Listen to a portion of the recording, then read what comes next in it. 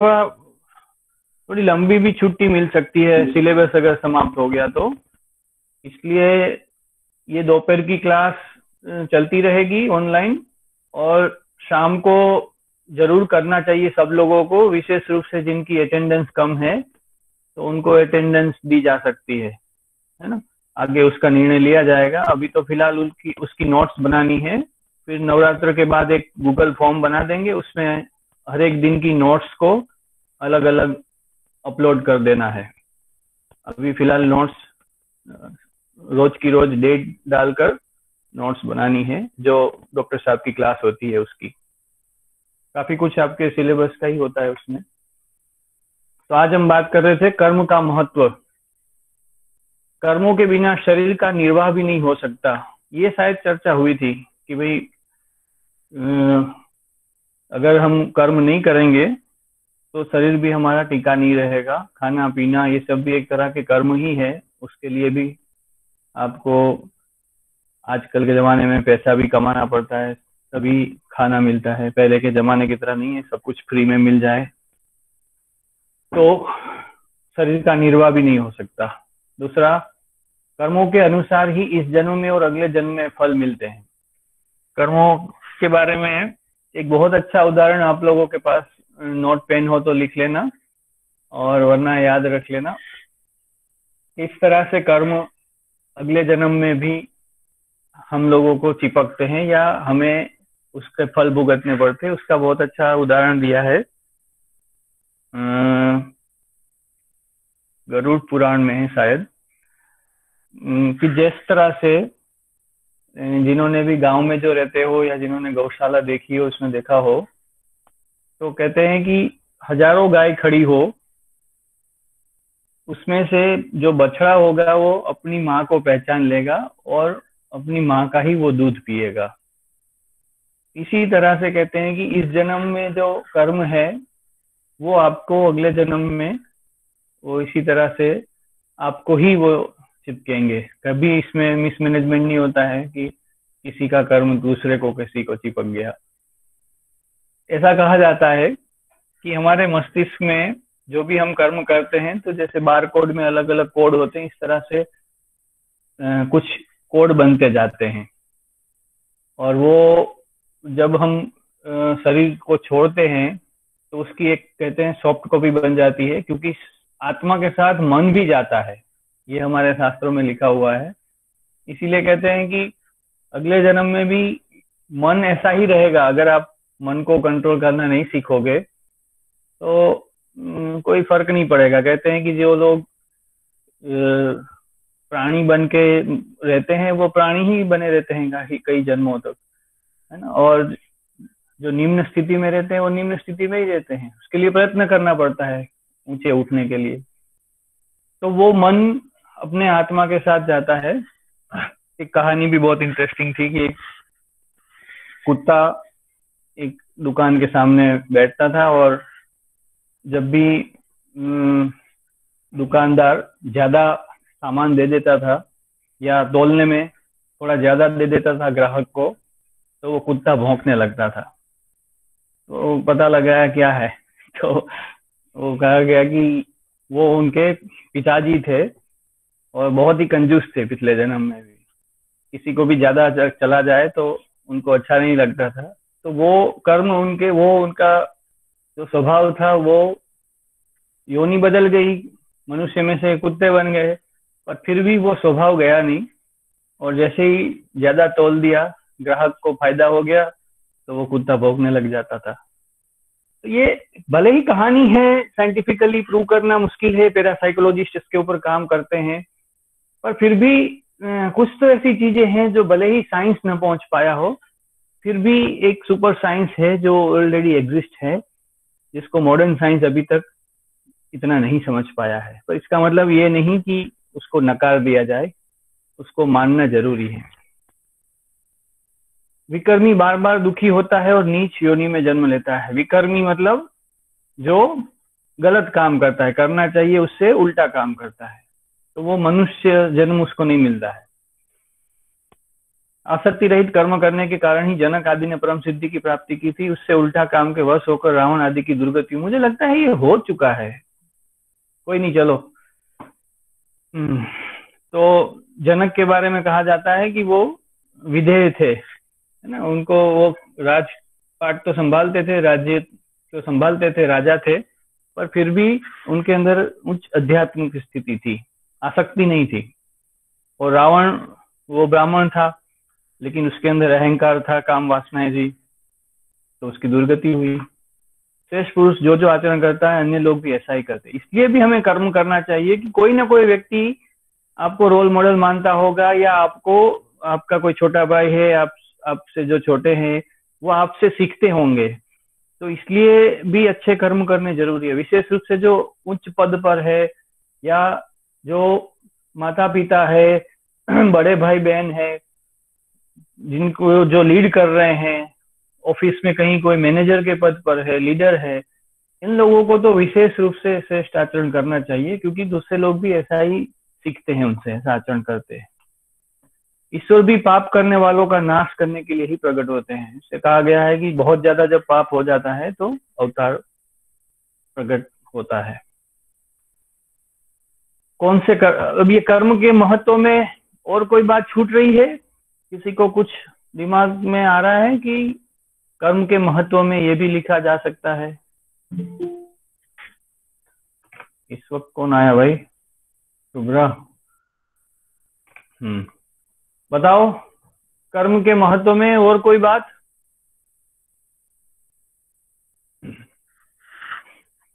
जाग रहे हैं ना सभी? यस सर हम्म। यस के महत्व में और कोई बात आ रही है दिमाग में? क्या लिखा जा सकता है?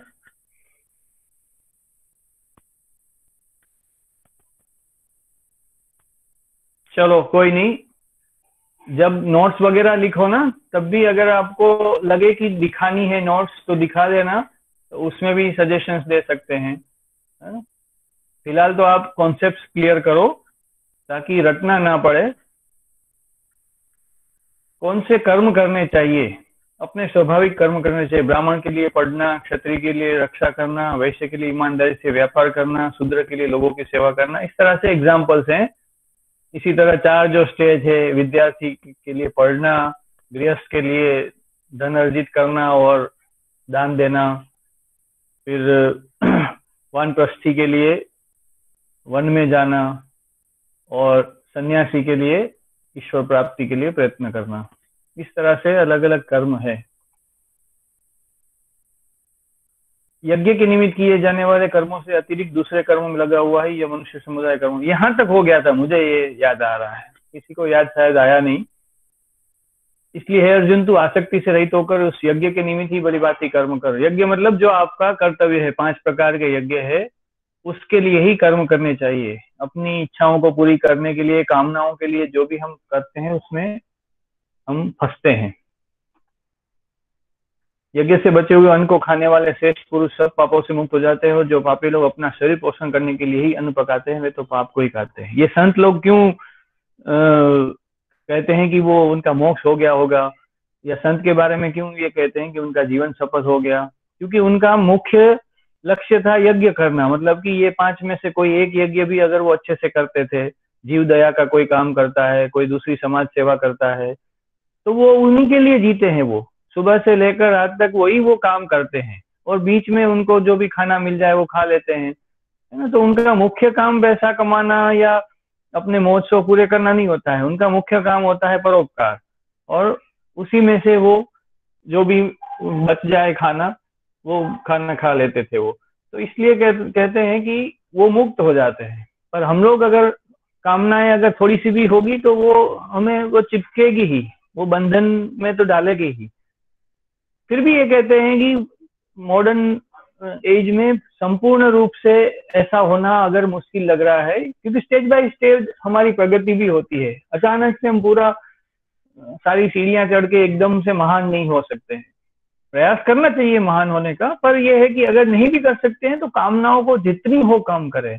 और यज्ञ के विषय में भी सोचे कि भाई हमारे ये जो पाँच महायज्ञ है, वो हमें करने हैं, ये हमारा कर्तव्य है। सिर्फ़ खाने कमाने में अगर लग गए तो तो फिर आगे जाके बंधन, दुख, वो सब होना ही है। पर्यावरण की सुरक्षा और इन सब चीज़ों के लिए भी हमें समय निकालना ही पड़ेगा। तो हम मुक्त हो सकते हैं। आज नहीं तो अगले जन्म में, आगे किसी जन्म में हम मुक्त हो सकते हैं और मुक्त नहीं भी होना चाह रहे हैं तो एटलीस्ट सुखी हो सकते हैं। दुख कम से कम आएगा। योग और संन्यास में कर्म। अब यहाँ है ना, एक सबसे नीचे लिखा है, आप लोग जिनके पास नोट हो या कहीं आप टाइप कर सकते हो तो टाइप कर लो। K R I S H N A K O S H dot O R G Krishna Kosh dot O R G अनियमित हम्म। Krishna Kosh dot O R जी इसमें भगवत गीता के ऊपर मुझे जहाँ तक जितनी भी किताबें मैंने पढ़ी, उसमें सबसे बड़ी व्याख्या मतलब एक ही श्लोक को बहुत अच्छे से समझना हो तो जो एक साधक संजीवनी करके बहुत बड़ी किताब है, इतनी मोटी सी किताब है और लगभग 1200 से भी अधिक ऐसा मेरे पास है उसकी एक कॉपी गीता प्रेस की। स्वामी राम सुखदास ने लिखी है। बहुत बड़ी है। लेकिन उसका फ़ायदा ये है कि भले ही आप कोई एक ही श्लोक का ट्रांसलेशन पढ़ लो, एक ही श्लोक की व्याख्या पढ़ लो, पर उतना विस्तार से दिया है, कहानियों के साथ सब कुछ, कि आपको बहुत सरल लगेगा वो। वरना कुछ कुछ कमेंट्रीज में क्या है? जो संस्कृत का हिंदी है उतना ही लिखा है। एक्स्ट्रा कुछ नहीं लिखा है ज़्यादा समझाने के लिए। कुछ कुछ श्लोक में लिखा है कुछ कुछ श्लोक में नहीं लिखा है। तो वहाँ नहीं समझ में आता है। एक तो हमारे जो डॉक्टर साहब की है युग गीता, उसमें भी बहुत विस्तार से लिखा गया है। और ये साधक संजीवनी है कृष्ण कोर्स डॉट ओ पे ऑनलाइन है, उपलब्ध। उसमें भी बहुत विस्तार से लिखा गया है। तो उसमें से कुछ चीज़ें ली है, बहुत अच्छी चीज़ें हैं। पहले लिखा है, यहाँ पहले सन्यासी पद कहने से यह भाव मालूम होता है कि अर्जुन स्वरूप से कर्मों के त्याग को श्रेष्ठ मानते थे।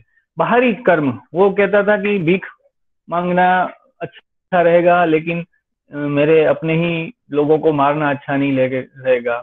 तो वो सन्यास का मतलब समझता था कि युद्ध ना करना और सब कुछ उनको दे देना और खुद भले ही भीख मांगनी पड़े, कोई दिक्कत नहीं।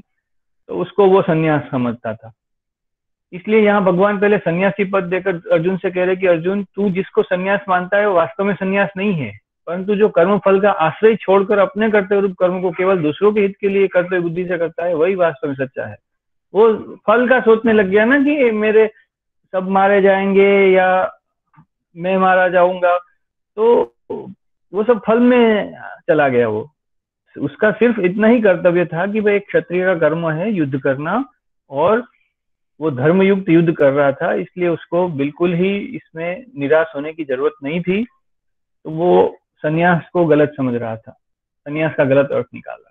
केवल अग्निरहित होने से सन्यासी नहीं होता, अर्थात जिसने ऊपर से तो यज्ञ, हवन आदि त्याग कर दिया, पदार्थों का त्याग कर दिया, पर भीतर से क्रियाओं और पदार्थों का राग है, महत्व है, प्रियता है, वह कभी सच्चा सन्यासी नहीं हो सकता, है ना? कि अगर मान लो कि युद्ध नहीं भी होता और वो सन्यासी जैसा, जीवन जीने का जैसा वो मानता था, ऐसा अगर वो करता, तब भी उसके मन में वही सारी चीज़ें रहती। तो वो सच्चा सन्यासी नहीं बन सकता था। इसलिए उसके लिए युद्ध करना ही ज़्यादा बेहतर था। समझ में आया सबको? सन्यासी, अब योग का आ रहा है भाई। योग के स्टूडेंट्स विशेष रूप से ध्यान दें। कहीं भी बीच में ना समझ में आए तो रोक देना। ये आपस में टू वे कम्युनिकेशन हो, इसलिए ऑनलाइन क्लास कर रहे हैं। आप लोगों का भी इसमें पार्टिसिपेशन बहुत ज़रूरी है। अब यहाँ भी बहुत विस्तार से लिखा है, लोगों की प्राय यह धारणा रहती है कि जो मनुष्य कोई भी क्रिया नहीं करता, स्वरूप से क्रियाओं और पदार्थों का त्याग करके वन में चला जाता है अथवा निष्क्रिय होकर समाधि में बैठा रहता है, वही योगी होता है। है ना? जैसे हम जो उच्च राजयोग की बात करते हैं तो सिर्फ़ वही कल्पना होती है कि जो समाधिस्थ हो गया है है ना? जो बिल्कुल हिलता डुलता नहीं है, कुछ नहीं करता है। तो सिर्फ़ ऐसा ही हम सोचते हैं ना, वो गलत है।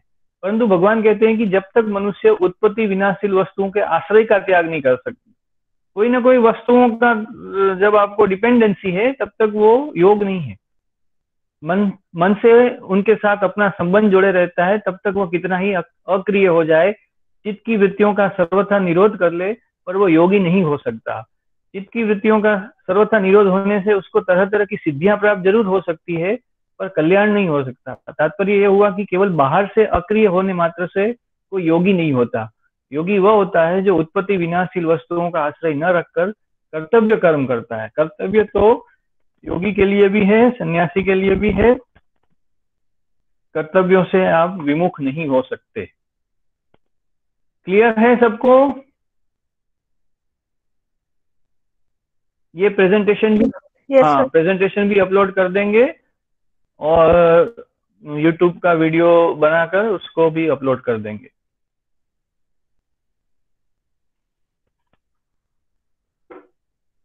कर्म करने वाला ही सन्यासी और योगी है। वह कर्तव्य कर्म करते हुए निर्लिप्त रहता है इसलिए वह सन्यासी है। उन कर्तव्य कर्मों को करते हुए वह सुख दुख नहीं होता। कर्मों की सिद्धि असिद्धि में वो सम रहता है इसलिए वह योगी है। समता समत्वम योग उच्चते समता ही योग है। तो यहाँ सिद्धि और असिद्धि में सम रहता है। चाहे हम फेल हो चाहे हम पास हो लेकिन हम सम, सम रहे। समता रहे हमारे अंदर हम विचलित न हो। तात्पर्य यही हुआ कि कर्म फल का आश्रय न लेकर कर्म करने से उसके कर्तव्य और भोक्तृत्व। कर्तृत्व मतलब अपना अहंकार की भाई मैंने किया और भोक्तृत्व मतलब उसको भोगना है उस फल को। वो नाश हो जाता है, अर्थात उसका न तो कर्म के साथ संबंध रहता है और न फल के साथ ही संबंध रहता है। इसलिए वह सन्यासी वह कर्म करने में और कर्म फल की प्राप्ति, अप्राप्ति में सम रहता है, इसलिए वह योगी है। समत्व रहता है उसके अंदर।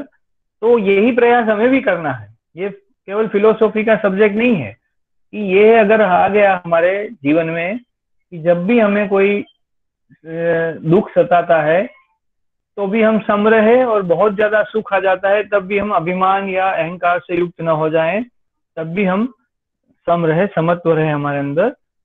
तो ये योग है असली योग यही है। क्लियर है सबको?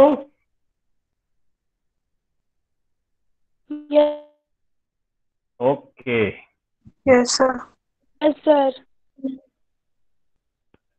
तो छठे अध्याय में कहा है भगवान ने कि जो पुरुष कर्म फल का आश्रय न लेकर करने योग्य कर्म करता है, वह सन्यासी तथा योगी और केवल अग्नि का त्याग करने वाला सन्यासी नहीं है तथा केवल क्रियाओं का त्याग करने वाला योगी नहीं है। अब जब हम आप पहले ये जो वेबसाइट दी थी, उससे हमने जो डिटेल में दिया था, उसकी चर्चा की कृष्ण कोर्स डॉट ओ अब ये गीता का जो श्लोक है, उसका हिंदी अर्थ अगर हम पढ़ते हैं तो हमें आसानी से समझ में आ जाता है। सीधे अगर ये पढ़ोगे, हिंदी अर्थ तो इतना सा ही लिखा है, तीन चार लाइन लिखी है तो हो सकता है वो उतना क्लियर ना हो। तो इसलिए ये बहुत अच्छी किताब है और ऑनलाइन भी उपलब्ध है कृष्ण कोर्स डॉट ओ पर। योग में कर्म का महत्व। हाँ अब ये बहुत ही प्रैक्टिकल टिप्स दी है भगवत गीता में। अधिक खाने वाले का योग सिद्ध नहीं होता। खास रूप से स्टूडेंट्स ध्यान दें, जिनको योग तो करना है, योग में आगे बढ़ना है, पर खाने पीने में बहुत ज़्यादा रुचि है। अधिक खाने वाले का योग सिद्ध नहीं होता, कारण कि अन्न अधिक खाने से, अर्थात भूख के बिना खाने से, अथवा भूख से अधिक खाने से। तीन प्रकार की चीज़ बताई गई। अधिक अन्न खा लिया, बिना भूख के भी खाया, या भूख से अधिक खाया। जिससे पानी ज़्यादा पीना पड़ता है, ज़्यादा अन्न खाने और पानी पीने से पेट भारी हो जाता है। पेट भारी होने से शरीर भी बोझिल मालूम होता है। शरीर में आलस्य छा जाता है बार बार पेट याद आता है। कुछ भी काम करने का अथवा साधन, भजन जब ध्यान की योग की जो भी क्रिया है, वो करने का मन नहीं होता। न तो सुखपूर्वक बैठा जाता है और न सुखपूर्वक लेटा ही जाता है तथा न चलने फिरने का ही मन करता है। अजीर्ण आदि होने से शरीर में रोग भी पैदा हो जाते हैं। इसलिए अधिक खाने वाले पुरुष का योग कैसे सिद्ध हो सकता है, अर्थात नहीं हो सकता। अधिक खाने का भाई किसी ने कुछ पढ़ा हो, योग में सीखा हो खाने पीने का और योग में जो लचीलापन है या योग में जो बताया गया है आहार के बारे में, उस पर कुछ बताओ, कुछ बोलो।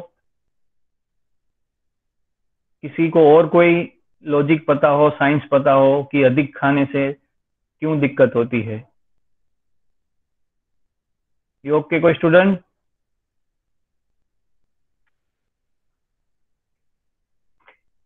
आज सब सो गए हैं क्या? मीठा करके हाँ क्या लिखा है?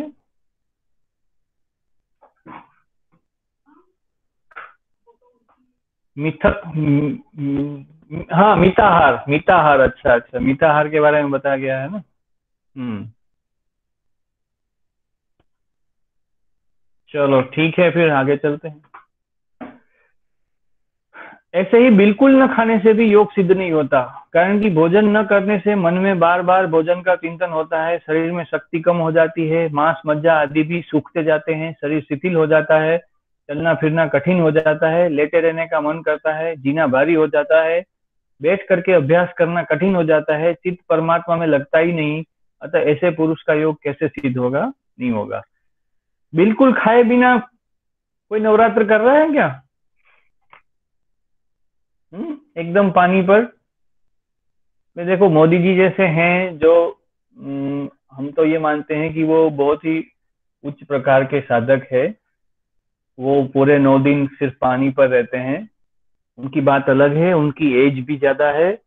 आपकी हमारी एज ऐसी है कि जिसमें हम लोग बिना खाए रहना मुश्किल है। और मैंने जैसे कहा स्टेप बाय स्टेप होता है। अचानक हम इतने बड़े साधक नहीं हो सकते हैं। तो अगर कोई इस तरह का प्रयोग कर रहा है बिना सोचे समझे तो अभी भी उसको बंद कर दें। बिना खाए, पिए, रहना मुश्किल है और उसमें कभी कभी चक्कर आ जाते हैं, ग्लूकोज कम हो जाता है, नमक शरीर में कम हो जाता है डिहाइड्रेशन जैसा भी होता है, बहुत सारी समस्याएँ होती है। तो वो आसान नहीं है सबके लिए। तो यहाँ भी वही बताया गया है कि बिना खाए भी आप योग नहीं कर सकते। मतलब कि ऐसा नहीं कि सुबह सुबह पहले खाया और फिर योग किया। जो एकदम पूरे दिन कुछ भी नहीं खाते हैं उनके लिए बताया गया है। आयुर्वेद में बहुत अच्छा बताया है कि छह कलाक से ज़्यादा भूखे नहीं रहना, छह घंटे से ज़्यादा। छह घंटे से ज़्यादा भूखे नहीं रहना चाहिए। यहाँ भी यही बात आती है कि बिल्कुल न खाने का, खाने वाले का भी योग सिद्ध नहीं होता। खाने पीने और योग के विषय में जो गीता में कहा गया है, इसमें कोई क्वेश्चन बहुत ज़्यादा खाना और बिल्कुल न खाना दो चीज़ों के बारे में बताया है। उसमें कोई क्वेश्चन किसी का? ओके। फिर सोने की बात आ रही है। जिसका ज़्यादा सोने का स्वभाव होता है उसका भी योग सिद्ध नहीं होता कारण कि ज़्यादा सोने से स्वभाव बिगड़ जाता है अर्थात बार बार नींद सताती है। पड़े रहने में सुख और बैठे रहने में परिश्रम मालूम होता है। ज़्यादा लेटे रहने से गाढ़ नींद भी नहीं आती। गाढ़ नींद आने से स्वप्न आते रहते हैं, संकल्प विकल्प होते रहते हैं। शरीर में आलस्य भरा रहता है।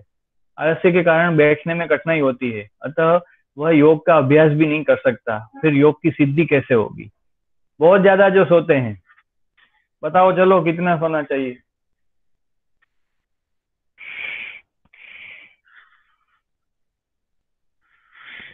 अब ये तो बहुत सरल प्रश्न पूछा है कितना सोना चाहिए? छह घंटे सात सात घंटे। और कोई? छह घंटे गीतांजलि ने बताया। और कोई? आयुर्वेद में घंटों के हिसाब से नहीं दिया है। बहुत अच्छा उसमें कॉन्सेप्ट दिया है कि जब आपका पिछला खाना हुआ, रात का खाना खाया हुआ है, उसका सही सही पाचन हो जाए और आपको स्वतः ही एक आँखें आपकी खुल जाए या आपको स्वतः ही लगे कि हाँ नींद खुल गई है और एक प्रेशर जैसा मालूम होने लग जाए, मोशन होने के लिए प्रेशर जैसा मालूम हो जाए तो वो कहते हैं कि पर्याप्त नींद हुई है। उसमें घंटों का हिसाब नहीं है पर जैसे अगर रात को आपने बहुत लेट खाना खाया है तो फिर आपका पाचन होने में टाइम लग जाएगा। तो फिर आपको सुबह जल्दी उठने का प्रयास करना कई बार व्यर्थ हो जाता है, ज़बरदस्ती उठ तो जाते हैं, लेकिन वो आदर्श स्थिति नहीं है, उसमें फिर समस्याएँ होती है। इसलिए आदर्श स्थिति यही है कि आप जल्दी खाना खा ले, रात को बहुत ज़्यादा न खाएँ, दूध भी जल्दी पी ले और जल्दी सो जाए। तो आपको आराम से, चाहे पाँच घंटा हो, चाहे छह घंटा हो, पर वो अपने आप ही नींद खुल जाएगी और उसमें आपको, आपके स्वास्थ्य को कोई नुकसान नहीं पहुंचेगा। जबकि आप रात को लेट सोए हो, लेट खाना खाया है, फिर छह घंटे का आप अलार्म रख के सोते हो तो भी हो सकता है वो अच्छे से पाचन नहीं हुआ होगा। है ना? तो छह घंटे, आठ घंटे ठीक है, वो भी एक नियम है मॉडर्न साइंस में लोग उसकी भी चर्चा करते हैं और उसमें मतभेद भी है। कोई छह घंटा कहता है, कोई आठ घंटा कहता है। पर ये बहुत अच्छा सिद्धांत है आयुर्वेद में। तो पाचन ठीक ठीक हो जाए वो ज़रूरी है। और ऐसा भी लिखा है, जो लोग बहुत ही ज़्यादा कमज़ोर होते हैं, जिनको कोई बीमारी है, ऐसी कुछ बीमारियों के बारे में भी बताया गया है, उसमें भी सोने का आयुर्वेद में बताया गया है कि उसमें भी सो सकते हैं। तो कभी कभार की परिस्थिति अलग है और आदर्श परिस्थिति अलग है। तो उसमें घंटों का हिसाब नहीं होता है, परिस्थिति के अनुसार हिसाब होता है। घर पर खाना लेट होता होगा, दस बजे बाद खाने वाले भी हैं क्या? कोई है? रात को दस बजे के बाद खाने खाते हैं। भाई, देव संस्कृति में रहे हो थोड़ा कुछ तो जानते होंगे तो आशा करते हैं कि घर पर भी उसको फॉलो करने का प्रयास करते होंगे। तो ये ज़्यादा सोने वाला। जब अधिक सोने से योग की सिद्धि नहीं होती तो फिर बिल्कुल न सोने से योग की सिद्धि कैसे हो सकती है? क्योंकि आवश्यक नींद न लेकर अधिक जगने से बैठने पर नींद सताएगी, जिससे वह योग का अभ्यास नहीं कर सकता है। है ना? उत्साह में रात को लेट सोए, फिर भी उठ गए और फिर नींद सताती रहती है। तो कहते हैं जो बिल्कुल नहीं सोते हैं, वो भी योग नहीं कर सकते। अब वो पढ़ोगे ना उसका जो मुख्य श्लोक है, छठे अध्याय का सोलवा श्लोक तो अब आसानी से समझ में आएगा। हे अर्जुन, ये योग न तो अधिक खाने वाले का और न बिल्कुल खाने वाले का तथा न अधिक सोने वाले का और न बिल्कुल सोने वाले का ही सिद्ध होता है। दुखों का नाश करने वाला योग तो यथा योग्य आहार विहार करने वाले का, कर्मों में यथा योग्य चेष्टा करने वाले का और यथा योग्य सोने तथा जागने वाले का ही सिद्ध होता है। ये सोलवा और सत्तरवा श्लोक है। कर्म का फल चाहना मनुष्य के लिए हितकारक नहीं है। जितने भी कर्म होते हैं, वे सभी प्राकृतिक पदार्थों और व्यक्तियों के संगठन से ही होते हैं। पदार्थों और व्यक्तियों के संगठन के बिना स्वयं कर्म कर ही नहीं सकता। अतः इनके संगठन के द्वारा किए हुए कर्म का फल अपने लिए चाहना ईमानदारी नहीं है। अतः कर्म का फल चाहना मनुष्य के लिए हितकारक नहीं है। देखो, बहुत ही अच्छी चीज़ इसमें बताई है कि क्यों नहीं चाहना चाहिए हमें कर्म का फल? कि भाई हमने पढ़ाई की हमने कोई कंपटीशन एग्ज़ाम पास करी और हमें कोई सरकारी जॉब मिल गई और या फिर हमें बहुत अच्छी जॉब मिल गई तो वो तो हमारी मेहनत है। उसका फल भुगतने में हमें क्या दिक्कत है? पर यहाँ ये है कि सिर्फ़ आपके कर्म नहीं थे। किसी ने पहले तो ये जैसे आपने पढ़ाई की तो पहले किसी ने यूनिवर्सिटी बनाई, किसी ने सिलेबस बनाया, किसी ने पढ़ाया फिर आपको नौकरी में भी बहुत सारे लोगों का सपोर्ट मिला, तब जाके आपने अपने कर्तव्यों को पूरा किया। तो इस तरह से हम लोग कर्मों के द्वारा एक दूसरे से इतने ज़्यादा संबंधित हैं और इतनी ज़्यादा परिस्थितियाँ भी उसके ऊपर डिपेंड करती है। इसलिए सिर्फ़ हम ये सोचना कि इस पर सिर्फ़ मेरा अधिकार है, वो गलत है। आजकल यही सबसे बड़ी समस्या है कि आदमी जो भी पैसा कमाता है, उसे लगता है कि ये सिर्फ़ मेरी मेहनत है, सिर्फ़ मेरा अधिकार इसके ऊपर। फिर वो उसको किसी भी हालत में छोड़ना नहीं चाहता, किसी को भी दान देने के लिए उसका मन नहीं करता है। तो ये गलत है। जहाँ जहाँ आप, आपका ऋण है, जहाँ जहाँ से आपने कुछ लिया है, सीखा है, वहाँ उनके प्रति भी आपका कर्तव्य है। है ना? यूनिवर्सिटी के प्रति भी आपका कर्तव्य होगा। कई सारे बच्चे मैंने देखा है, आज भी मैं जानता हूँ स्टूडेंट्स को, अच्छी जॉब मिलने के बाद वो ऑनलाइन एडब्ल्यू में दान करते रहते हैं, है ना? तो थोड़ा थोड़ा एकदम से कोई ऐसा नहीं हो सकता कि सब कुछ दान कर दे, लेकिन सबका अपना अपना लेवल होता है। कोई अपने इनकम का एक परसेंट देता है, कोई दस परसेंट दे देता है, कोई साल में एक आध बार दान करता है, कोई हर महीने दान करता है तो सबका अपना अपना लेवल है, पर दान करते रहना चाहिए। ये भी अपना कर्तव्य है है ना? पर्यावरण के प्रति भी हमारा कर्तव्य है, समाज के प्रति भी हमारा कर्तव्य है तो उसको नहीं भूलना चाहिए, क्योंकि उनके बिना आपको ये सिद्धि नहीं मिलती। सिर्फ़ आप अकेले करोगे तो कुछ नहीं होगा, है ना? इसलिए सिर्फ़ अपना अधिकार उस पर नहीं जताना चाहिए और कर्म के फल की इच्छा नहीं करनी चाहिए। कर्म न करने में भी आसक्ति न हो, कि नहीं भाई, करना ही नहीं है कर्म, छोड़ो कर्म न करने में आसक्ति होने से आलस्य, प्रमाद आदि होंगे। आजकल के युवाओं में ये बहुत बड़ी समस्या है। कर्म फल में आसक्ति रहने से जैसा बंधन होता है, वैसा ही बंधन कर्म न करने में आलस्य, प्रमाद आदि होता है। क्योंकि आलस्य, प्रमाद का भी एक भोग होता है, अर्थात उनका भी एक सुख होता है, जो तमोगुणी सुख है। मज़ा आता है कि या सोए रहें, अब तो ठंड आएगी तो उसमें मज़ा लेते हैं लोग। और जिसका फल अधोगति होता है, तात्पर्य यह हुआ कि राग आसक्ति कहीं भी होगी तो बांधने वाली होगी, है ना? कुछ कहता है ना, कोई बेचारा कोई अच्छा काम बताता है या कुछ क्रिएटिव बोलता है तो उसको कहते हैं, यार, ये बहुत ज़्यादा दिमाग लगाता है, आराम करो, सो, कुछ करने की ज़रूरत नहीं है। ऐसा करके कुछ तमोगुणी लोग जो होते हैं ना, आलसी प्रमादी, वो दूसरों को भी अप्रिसिएट नहीं करते हैं दूसरों को सपोर्ट भी नहीं करते और खुद भी पड़े रहते हैं।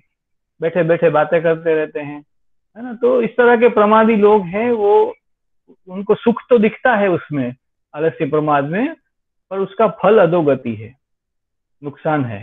क्योंकि अगर आप सोचो कि अब अगर आपका जीवन सिर्फ़ सोते रहने में ही जा रहा है तो ऐसा कौन सा प्राणी है जो सोता रहता है, बताओ? सबसे ज़्यादा जिसके बारे में कहा जाता है कि ये बहुत ज़्यादा सोता रहता है, कौन सा प्राणी है? सर मनुष्य ही हो सकता है। मनुष्य फिर भी आपको दिन में जागता हुआ नज़र आएगा।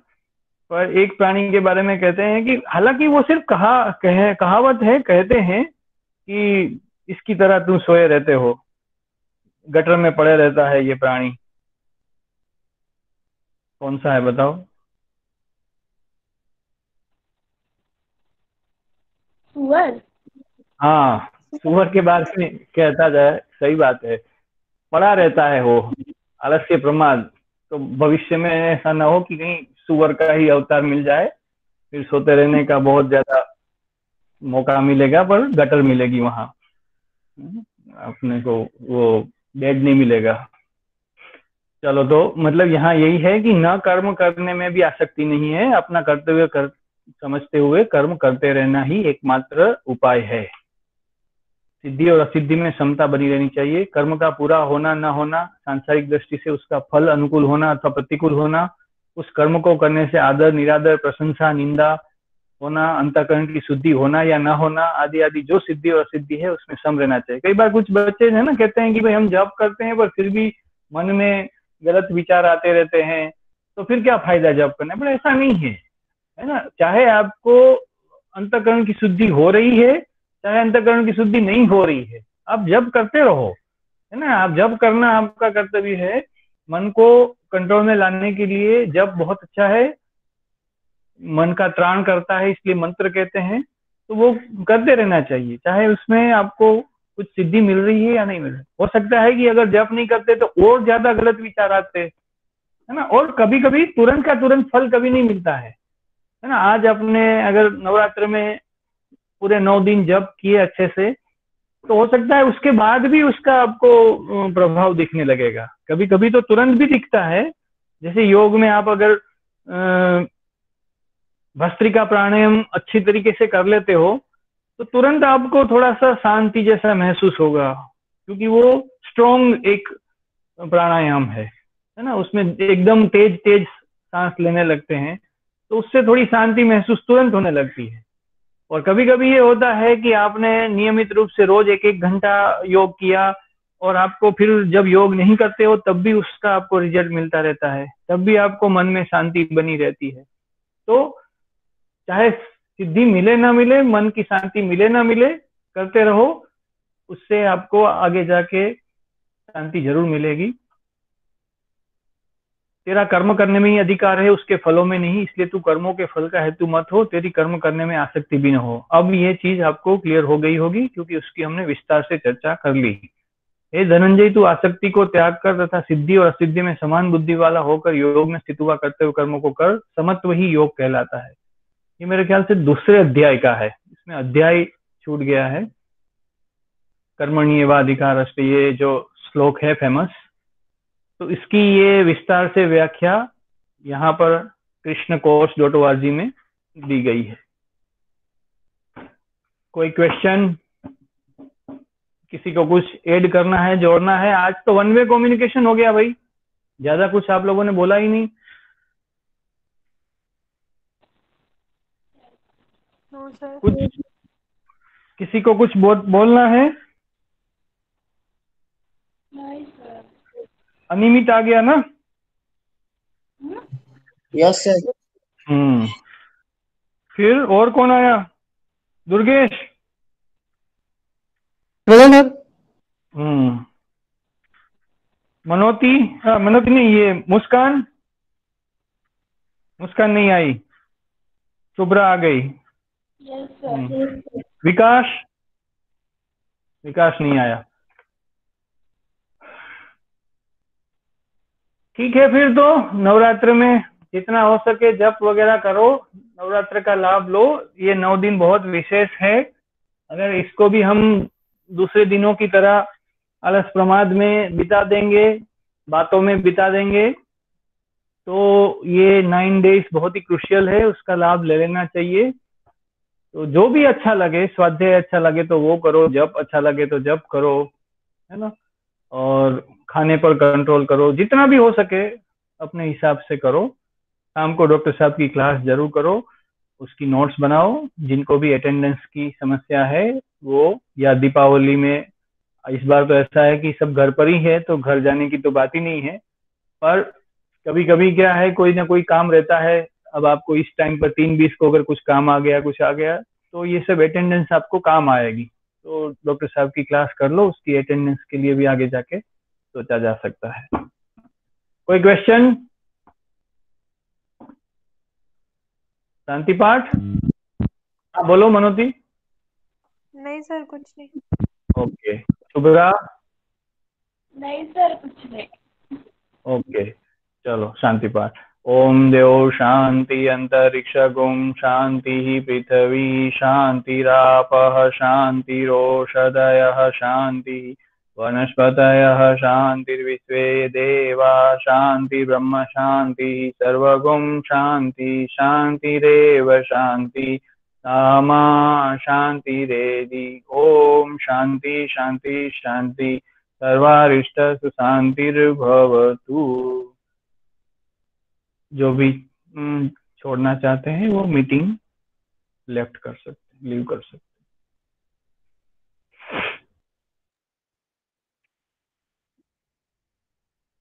थैंक यू सर वेलकम किसी को कुछ पूछना हो बात करनी है तो पूछ सकते हैं अभी भी। बाकी सब लेफ़्ट कर सकते हैं। प्रणाम सर प्रणाम। सर हाँ, प्रणाम सर प्रणाम। अनिमित बोलो। नवरात्रि के टाइम पे किस साधना के ऊपर ज़्यादा ध्यान देना चाहिए? नवरात्रि के ऊपर? किस साधना में ज़्यादा ध्यान देना चाहिए? किस साधना में? यस सर किस साधना में मतलब? कौन से प्रकार की साधना में? ध्यान साधना या योग साधना? अच्छा देखो वैसे तो ध्यान या योग का ही अंग है। हाँ? या फिर मंत्र साधना सर उसमें है ना, अपना अपना एक, जो अपनी पर्सनालिटी है, अपने विचार है, उसके अनुसार मुझे लगता है कोई भी साधना करो, दिक्कत नहीं है। ये साधना के लिए मुख्य रूप से है नौ दिन। कोई भी साधना कर लो। तो साधना के जितने भी प्रकार है, उसमें से कोई भी कर लो। मैं अपनी बात बताऊँ तो मुझे जप ज़्यादा सुटेबल लगता है तो अलग अलग मंत्र के करता हूँ। ऐसा नहीं कि सिर्फ़ गायत्री मंत्र के, महामृत्युंजय मंत्र है, अपने स्वास्थ्य के लिए है। और ओम नमः शिवाय का मंत्र है। इस तरह के मंत्र का जब मैं ज़्यादा पसंद करता हूँ और गीता का स्वाध्याय और वो करता हूँ तो इस तरह से स्वाध्याय और मंत्र साधना, दो तरह की साधनाओं को मैं करता हूँ। अब आप लोगों को अपने हिसाब से सोचना चाहिए कि अपनी क्या परिस्थिति है, उसमें हमें क्या करना है। आपको लगता है कुछ आसन वगैरह हमारे से ठीक से नहीं हो रहे हैं? योग के स्टूडेंट हो क्या? नहीं सर बीजेएमसी अच्छा बीजेएमसी हाँ तो फिर कोई भी साधना कर लो।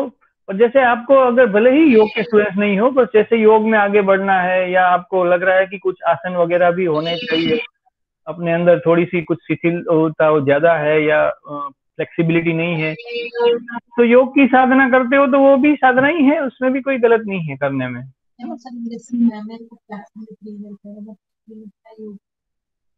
हेलो? जी सर। हम्म। जी जी। क्लियर है? जी सर क्लियर हो गया। ओके ठीक है फिर मिलते हैं। जी सर प्रणाम सर। प्रणाम प्रणाम।